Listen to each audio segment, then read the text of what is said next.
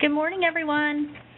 It's my pleasure to welcome you to our webinar, EMA Perspective on Frailty in Clinical Trials. My name is Cynthia Bens, and I serve as Vice President of Public Policy at the Alliance for Aging Research, and I also serve as Executive Director of the Aging in Motion, or AIM Coalition. I'll be moderating today's program. Uh, before we begin, I'd first like to provide some background on sarcopenia and the AIM Coalition. Sarcopenia is age-related loss of skeletal muscle. Starting in middle age, we all begin experiencing muscle loss, no matter how much time we spend exercising. The problem is that for some people, this loss of muscle is faster and more severe. Their muscle loss impacts their strength, and this group of people gets into trouble later in life when they don't have enough strength to do the things they need to do to live independently. These older adults find it increasingly difficult to stand up, to walk, climb stairs, cook, purchase groceries, and even use the bathroom without assistance. They also tend to have more complications recovering from injuries commonly experienced by the elderly, like hip fracture. An inability to carry out activities of daily living like these or to fully recover from injury are major causes for many older adults ending up in assisted living facilities or nursing homes. And this institutional, institutionalization is at great financial cost to people, their families, and society. So the Aging in Motion Coalition is made up of 30 nonprofit uh, patient and research advocacy organizations working together to increase recognition of sarcopenia and age-related uh, functional decline. AIM was founded in 2011, and our core goal is to promote clear clinical development and regulatory pathways for effective treatments that can improve the lives of people with sarcopenia. We do this by convening some of the greatest minds uh, who are conducting research in this area, and our current scientific advisory board um, is listed on the slide. Uh, we also engage with industry to strategically undertake activities that will produce results that are of use in the diagnosis and treatment of sarcopenia. And we also work directly with regulatory bodies in advancing our activities because we want to be sure that whatever we do meets their needs as well. Uh, we've had a positive and ongoing interaction with both the FDA and EMA on sarcopenia. Among other things, FDA continues to work with AIM on the qualification of the short physical performance battery and usual gait speed for use as performance outcome measures.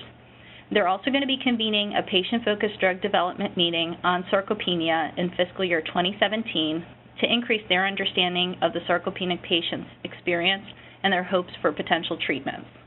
We're incredibly excited that the doors that both of these initiatives are going to open for sarcopenia product development.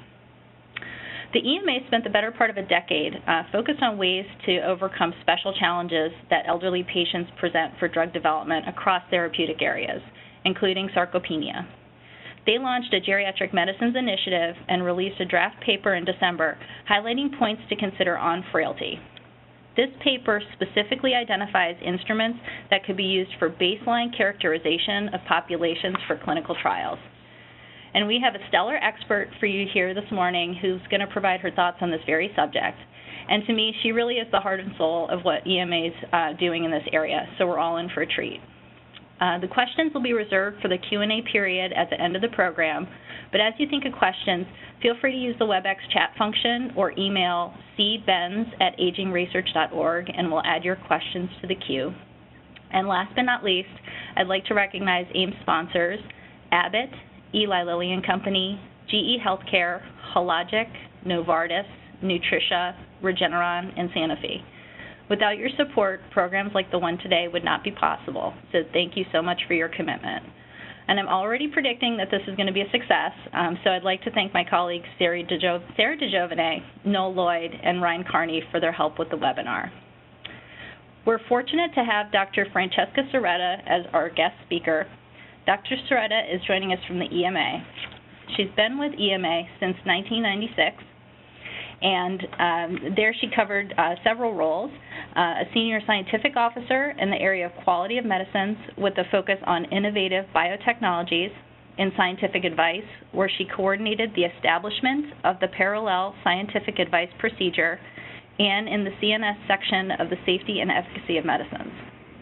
Since 2010, she served as the coordinator of the EMA Geriatric Medicines Initiative aiming to improve the assessment of benefits and risk balance of drugs in the older population. In 2014, this expanded to include gender issues. Dr. Cerreta is the EMA representative for a health technology assessment IMI project, Get Real, about the use of real-world data to streamline product development, and an additional project in the development of sarcopenia drugs. Since the launch of the EMA Adaptive Licensing Project in March 2014, she shares the coordination of the implementation of the project. And earlier in her career, she worked as a research scientist at Merck in the field of molecular biology and for Eli Lilly in clinical research. Um, she's going to provide an overview of the EMA geriatric medicine strategy, regulatory considerations on frailty as a stratification criteria in randomized controlled trials, and perspective on sarcopenia as a potential indication. So, Dr. Cerreta, please take it away.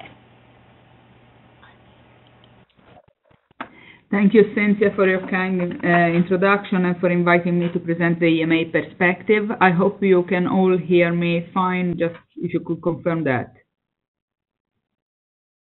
Yeah, I hope so. Yes, we can hear you. We can hear you. Okay, fantastic. Fantastic. So, um, I'm really happy to be participating to this seminar because uh, Aging in Motion is really doing stellar work in, in pushing forward the frailty and sarcopenia agenda. Um, and I would like to share with you some points that uh, of the thinking that the EMA has come to have, both in the aspects of using frailty as a stratification criterion in the populations which is enrolled in clinical trials or registries, and also on our current thinking on sarcopenia as a potential indication and target for pharmacological intervention. So if you can go at the next slide. Now, what is the EMA? This is very briefly for those of you who may not be familiar. In the shortest possible definition, it is like the Food and Drug Administration for the European uh, Union, um, minus the food part. Uh, we have a number of committees that are dedicated to the evaluation of drugs and of pharmacovigilance, both for humans and animals. And uh, uh, we are based in London. Next slide. Um, now, this presentation will be in three parts. A very, very brief overview of our geriatric medicine strategy. For more detail, I would refer you either to our website or if you're interested, please contact me and you can ask me further questions. The second point will be regulatory consideration on frailty as a stratification criterion for randomized clinical trials. And the third, as I mentioned, is uh, you, uh, looking at sarcopenia as potentially an indication. So in the next slide, we can see what sparked a bit of the interest of the EMA into putting up a geriatric medicine strategy. We did an analysis of the patients that were enrolled in clinical trials in um, in the area in the cardiovascular area and other areas. And, um, and in the cardiovascular, here is an example the, the population is clearly skewed towards a younger population, although for the 65 to 74 age bracket, the representation of patients is uh, reasonable and, and, quite well made. Uh, as soon as patients get older, 75 plus, the, um, the, the, the representativeness of the clinical trials drop. And this, nevertheless, uh, against the fact that uh, older patients are major users of medicines and uh, represent more than half of the prescriptions normally. Next slide. What we can see here is that the, the uh, EMA uh, based their strategy on two principles. The first one was to look at uh, what data we had, where the data uh, representative of the population that would use the drug, so uh, to base ourselves on evidence in our decision making. And in this respect, we would like to make a difference as compared to pediatrics. Uh, young patients are a special population because they're not major users of medicines. We consider that older patients are integral part of um, the population that will use medicines and therefore they should be evaluated in the mainstream uh, of the evaluation. The second point is that sometimes we do have the data, but we don't express clearly the significance of this data in uh, the summary of product characteristics and other approval documents. So we wanted to improve the availability of information on the use of medicines for older people to help people to make a more informed decision on treating patients.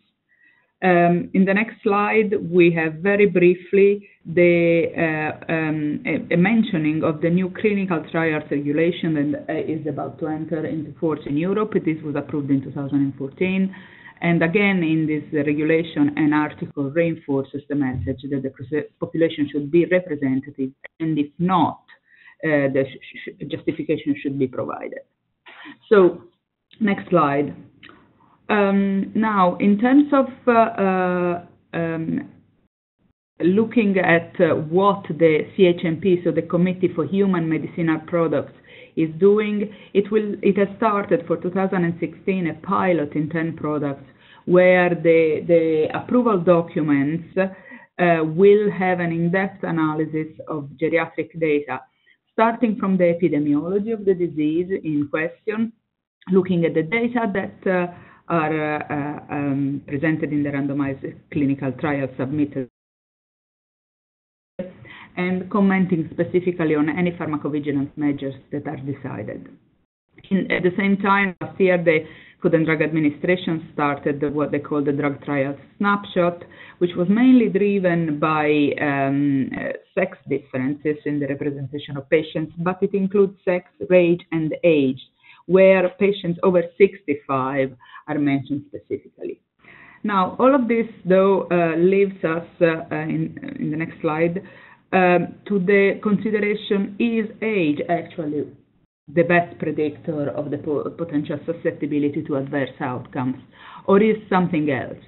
Um, I was working in the revision of the, uh, go to the next slide. I was working in, in the revision of the ICH 7 which is the ICH guideline uh, regarding older populations. And there was uh, quite a substantial discussion on whether other criteria should be utilized, but no consensus on frailty. And uh, in that respect, we know that age, chronological age, is a suboptimal predictor of susceptibility to adverse outcomes. So we have started to look whether frailty could have been a better descriptor of how the population in the clinical trials was representing patients that perhaps were um, um, less well off and more susceptible to uh, the potential adverse outcomes. Now, the golden standard for, a, for, for assessing the frailty status of a patient, we recognize is, of course, a comprehensive geriatric assessment. But the thing is that this assessment is time consuming, requires specialized training, and it's impractical for uh, a routine characterization of a randomized clinical trial population.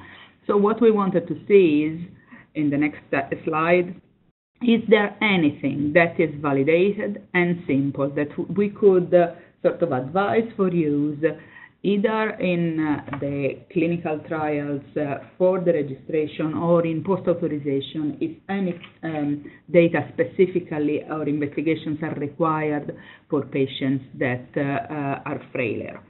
Uh, so um, next slide, please we have come up with a document which is currently under consultation, and I would like to invite you to go and look at it. I hope, Cynthia, the slides will be available afterwards. Uh, it's for consultation until the 31st of May. And uh, this document says draft points to consider on frailty for baseline characterization of trial populations. Um, looks at frailty under four different aspects. Uh, go to the next slide. So it is something that is intended to characterize the population as baseline, so not an instrument to measure change in the frailty status uh, for clinical development.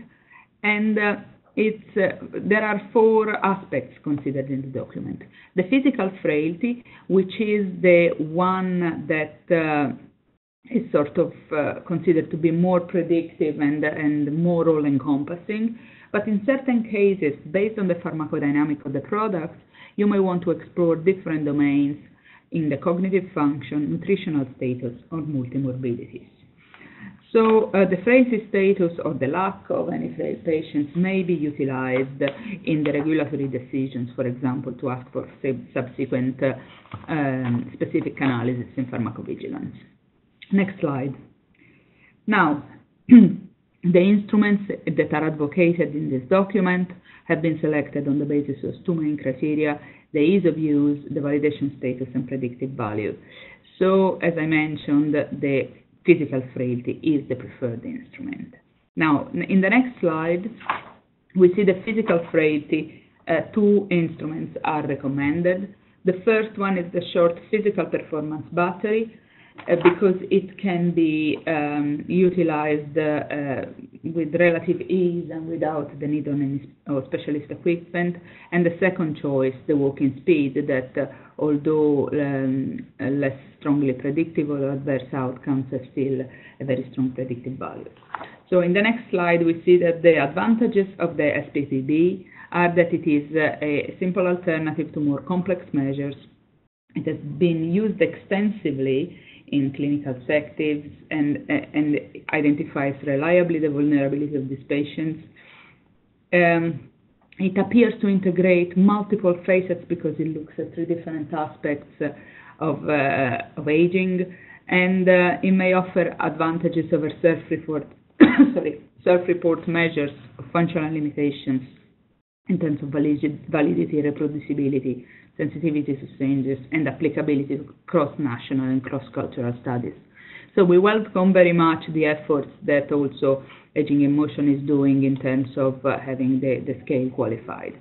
In the next slide, there are some limitations, of course, of the SPPB. It was not originally developed to identify frailty. It can have a floor effect, so that the most strongly affected patients um, couldn't uh, uh, really give us a meaningful result, but we don't expect either that these patients would be enrolled in a clinical trial, unfortunately. And it requires a minimum of instrumentation, but uh, that, that is considered to be you know, within the acceptable requirements that could be put, put towards performing it. Uh, so uh, we had some preliminary comments, including some that we have received from the Food and Drug Administration, and we will have to respond after the consultation ends uh, to these comments in terms of either accepting them or justifying why they haven't been taken on board. Next slide will show what is the um, the scales advised for cognitive dysfunction, and the one that is mostly supported is the Montreal Cognitive Assessment is preferred. Um, as it is also uh, been developed uh, with a specific um, focus on, on elderly. For frailty and malnutrition, in the next slide, we have um, by the way, I wanted also to mention that uh, if if uh, Cynthia makes the slides available, there are no, uh, footnotes on the on each of these slides, so you have a bit more information that reports as well what is in the in the document for consultation, so you can have a sort of summary for each of these items. For frailty and malnutrition, you have uh, uh, a, a, a mini nutritional status short form and this would be um, advocated in situations where the pharmacodynamic profile of a product indicates that this is appropriate, in particular if the product may cause loss of appetite and then worsen the, the, the clinical presentation of the patients. The last one uh, in the next slide is the multimorbidity and the cumulative illness rating scale for geriatrics is uh, um, suggested. We probably think that the multimorbidity aspect will be particularly interesting for the use in post-authorization, where we want to, for example, look at um, cohorts of patients uh, uh, in, in, registries or, or, or, specific observational studies where we may want to see um, how multimorbid patients fare with a certain product. So, as conclusions of on in the next slide on the frailty as a stratification criteria in randomized clinical trials, we recognize that older people are often excluded from clinical trials, and we would wish that the population in, enrolled in the trials would be as representative as possible of the target population. The assessment of the physical frailty and, and other related domains would allow a better characterization than the chronological age. And um, it may also allow the identification of subgroups of older patients where a different risk to benefit ratio in the effect of, the, of a medicinal product uh, is present. Um, this is also something that we think could be of help, as I mentioned, in the post-authorization phase. In the next slide, we have the third point for this presentation, which are regulatory considerations on sarcopenia as a potential indication uh, for the development of, um, of medicinal products to treat sarcopenia. Now, if we go to the next slide, um, this is the general regulatory view on what is needed for outcome measures to be able to support a drug labeling claim.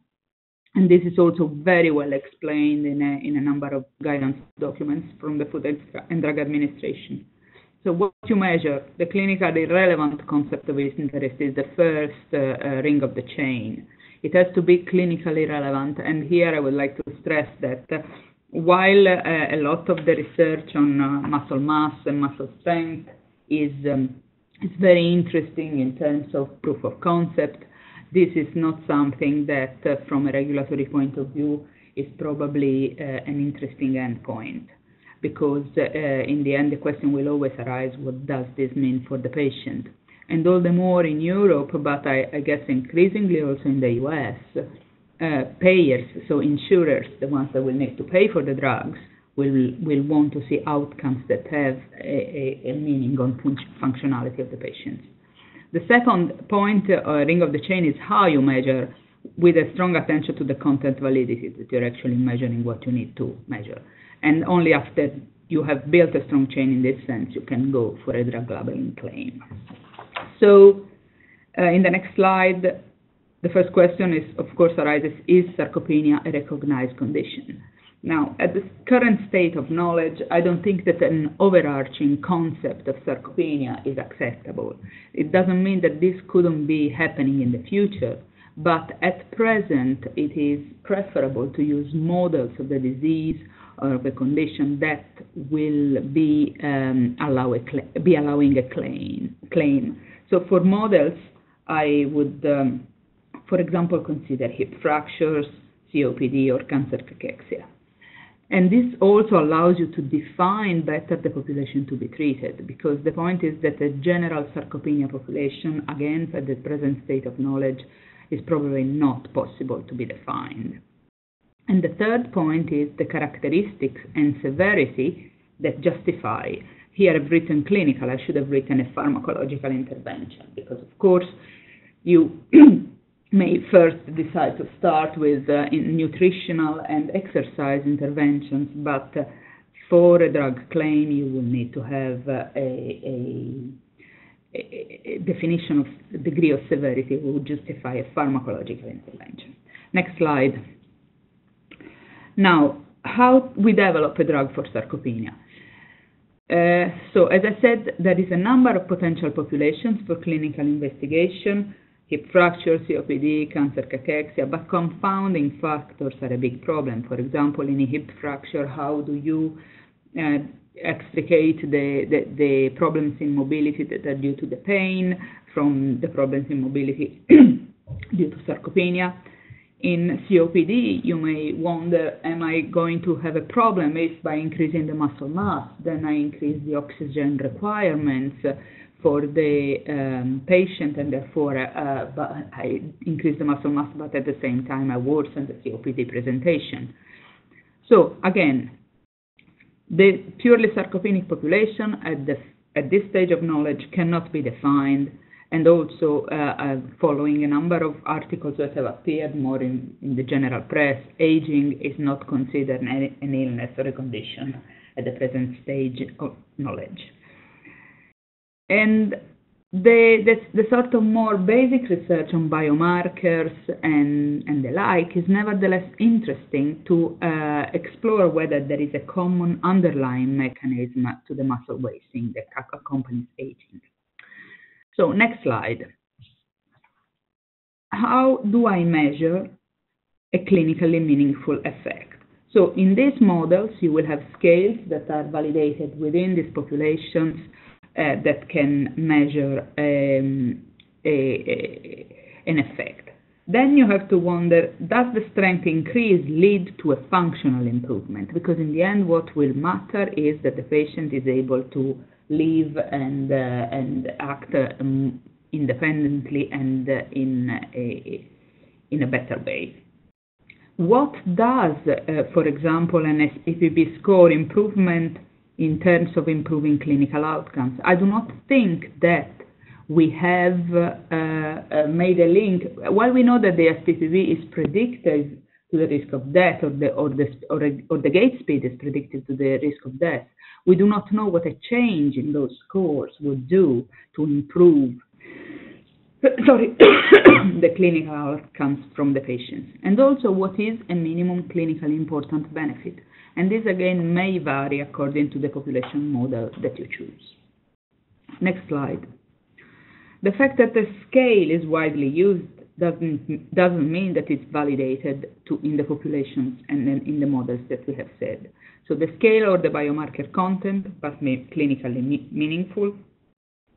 We can also um, uh, consider the the, um, the development of prognostic biomarkers for asymptomatic or early stage patients to, to show the risk that they will develop sarcopenia we don't know much of the trajectory of those biomarkers, uh, again, at the present stage of knowledge, uh, or how they would predict the response, and any confounding effects must be explored. So these are all areas where there are more questions than answers.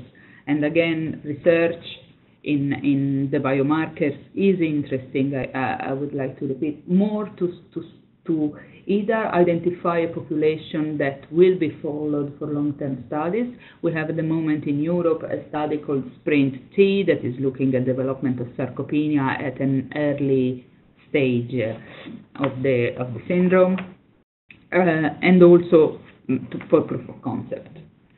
Now, next slide.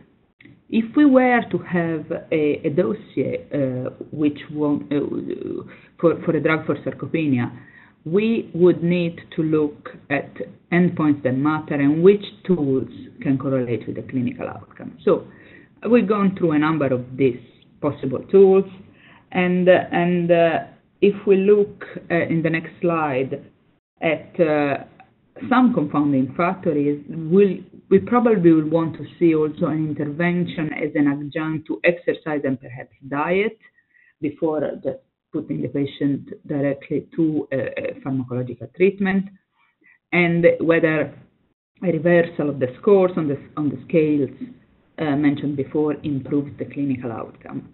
So, so far we have received a number of advices that uh, are uh, uh similar to the end of phase two meetings uh, at the FDA. And um, just to summarize, what we have given as advice is that in general we would want to see in these models a co-primary endpoint, a performance-based measure, and in addition, a patient-reported outcome. So to conclude in the last slide, I would ask and would be really grateful for any comments on the frailty guidelines. As I said, the deadline is the 31st of May.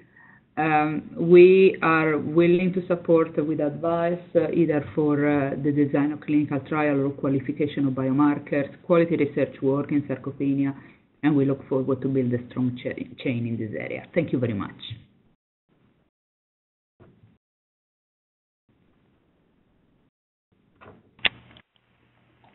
Great.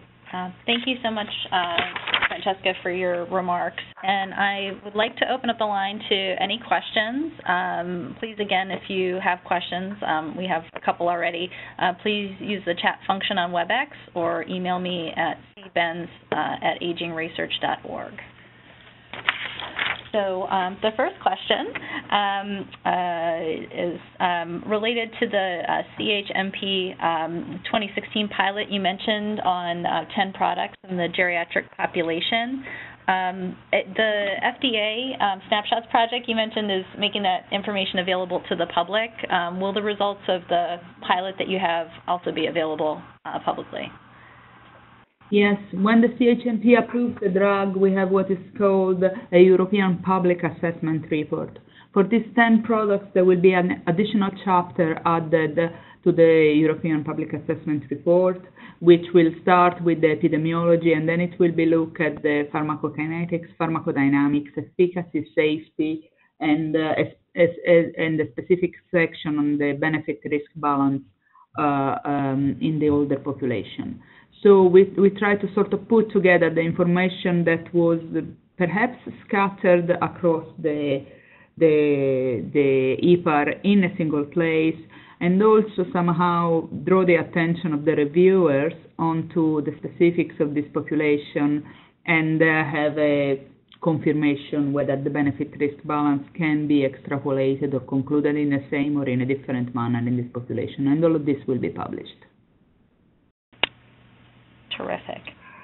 Um, the second question is related to um, timing of the uh, finalization of the the draft paper on frailty.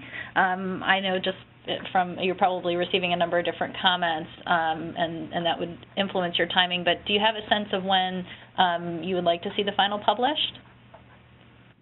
Well. Uh it's difficult to say at this stage because uh, we n- normally there is a surge of comments, you know, in the in the last few days uh, mm-hmm. of, of, the conversation, but we have received um, very well considered comments from the FDA and from a number of uh, geriatrics or, or medical societies that uh, are, are, active in the older uh, people area. Mm, probably, I would say um, probably within six months from from May, we may come with a proposal for for a uh, approval of the final documents. There is there is a number of going backwards and forwards in between the various committees, so it depends also on their agenda and how busy it is to take up the topic. But uh, I'm, I'm optimistic. Great. Um, one other question is related to um, the slide on uh, the requirement for co-primaries for um, uh, seeking an indication for sarcopenia as an indication. And I was just curious because um, the Aging in Motion Coalition so focused on performance measures. Um, has anyone approached EMA outside of um, the request for uh, consultation about you know, going through your formal process for qualifying a PRO measure? For sarcopenia? Um, no, but I heard last week at the confer- at the World Conference on Osteoporosis that somebody is working towards one of these uh, SARC. Uh, I don't remember how it was called. This instrument. I, I I I had noted myself to look it up, but I haven't done because I've just come back from that. But uh, I mean, the point is some of the patient-reported outcomes are probably um, already there, and it's just a matter of saying, would you consider that they are applicable in this population? We have had mm-hmm. the PF10, for example, I, I, think it has been requested, and and uh, uh, in Europe, we also have what is a scientific advice with health technology assessment bodies, who are the ones who look at the value, so the effectiveness and and um, of, of the product in, in, in, in real life and where it is situated as compared to other interventions. And uh, they as well put a lot of stock into patient-reported outcomes. Uh, they, uh, if I remember correctly, again, the PF10 was in one of the advices that were given jointly with with the HTAs.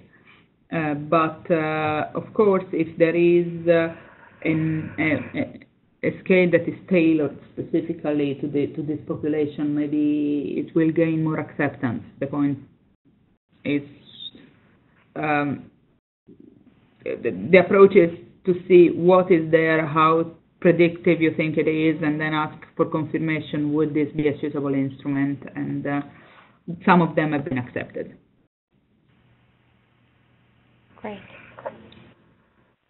Um, Okay, uh, so one one other question um, is related to um, the fact that um, sarcopenia is not um, currently recognized as a condition, um, and that you know until then we sort of have to focus on models of disease. Um, I think you're aware that we're you know seeking to have a diagnosis of sarcopenia established. how how does that does that at all change how EMA is going to approach their thinking around development programs in, in the area of sarcopenia? Does it eliminate any of the confounding factors in your view?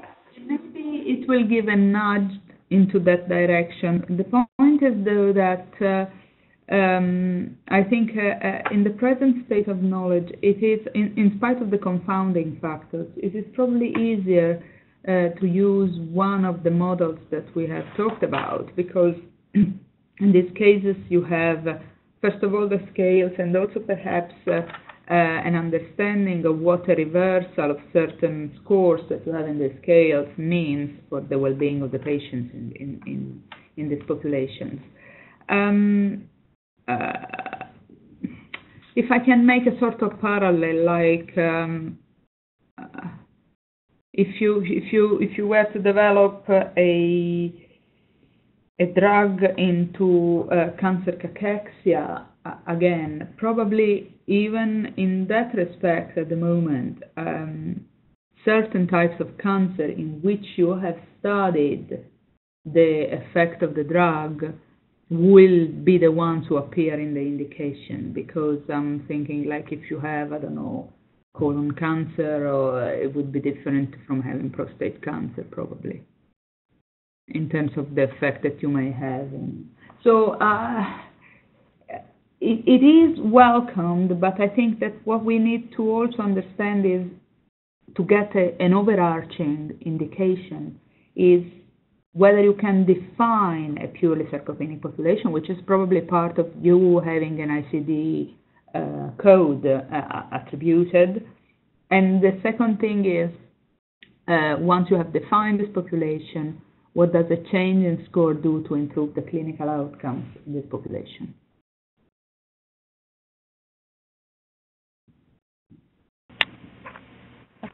And just one last question, um, and it's mine. um, the the one question I had is, uh, you know, we're really interested. Um, the nonprofit members of the coalition would really like to see more work on, you know, better understanding how um, treatments can be developed for for older populations. And you know, we think that we've we've all just been really impressed with the fact that EMA has has taken on the older adult population in a, a very strategic way.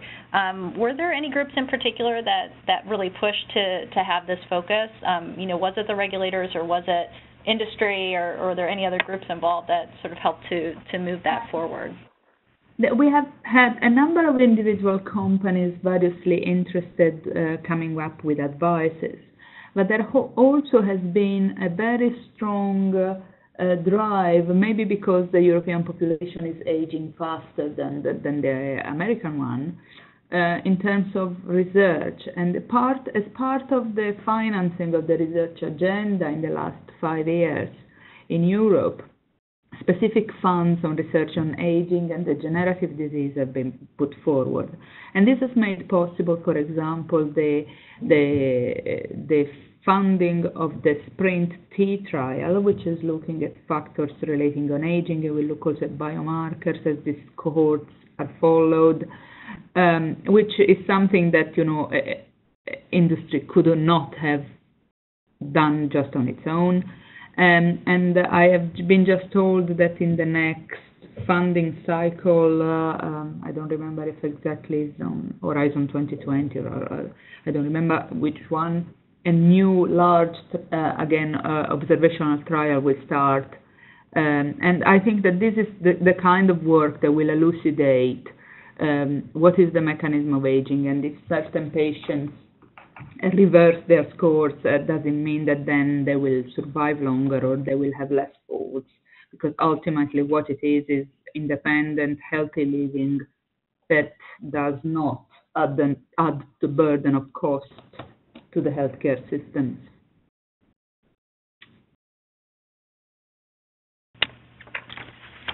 Great. Um, well, it doesn't look like there are any more questions. Um, the AIM Coalition is actually going to be submitting comments uh, to EMA on the draft uh, frailty paper, and I would encourage all of you to do the same. Um, we're going to be making uh, the slides available on uh, AIM's website, aginginmotion.org, um, and we'll also, um, in about a week, um, have a full recording of this um, available on the website uh, for any of your colleagues or, or, anyone else who you think uh, would be interested who wasn't able to participate. Um, and you can always um, send information um, our way, and if you have questions, uh, we can make sure that, that we get them to uh, Francesca, um, or, or we'll be able to answer them ourselves. Um, and again, I'd like to thank you all uh, for joining this morning, and a, a really a special thanks to um, to Francesca for making herself available uh, to give this great presentation. And again, I'd just like to thank our sponsors: Abbott, Eli Lilly, GE, Hologic, Novartis, Nutricia, Regeneron, and Santa Um, and that concludes the program. Thanks you all so much, and have a great day.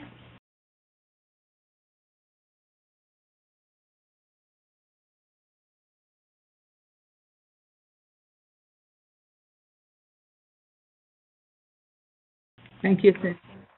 Thank you. Bye.